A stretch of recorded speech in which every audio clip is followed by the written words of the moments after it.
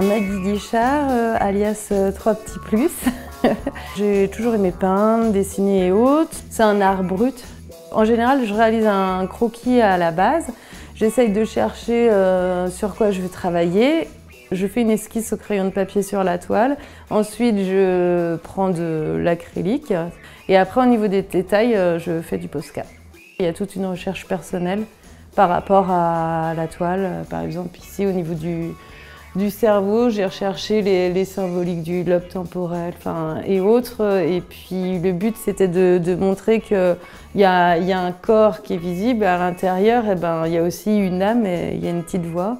Et après, il y a toute la matière grise en fait. Je pense que j'ai eu beaucoup de chance et bon, j'ai fait quand même pas mal de, démarches pour trouver des expositions et autres, comme à l'hôpital, enfin des lieux qui me tenaient à cœur ou à la librairie L'Ombre du Vent parce que c'était un lieu, enfin j'avais vraiment envie que ça soit dans un lieu comme celui-ci. Je démarche le lieu, j'essaye de voir ce que le lieu m'inspire et ensuite, euh, et ensuite j'y vais avec une nouvelle collection, donc euh, il y a pas mal de travail.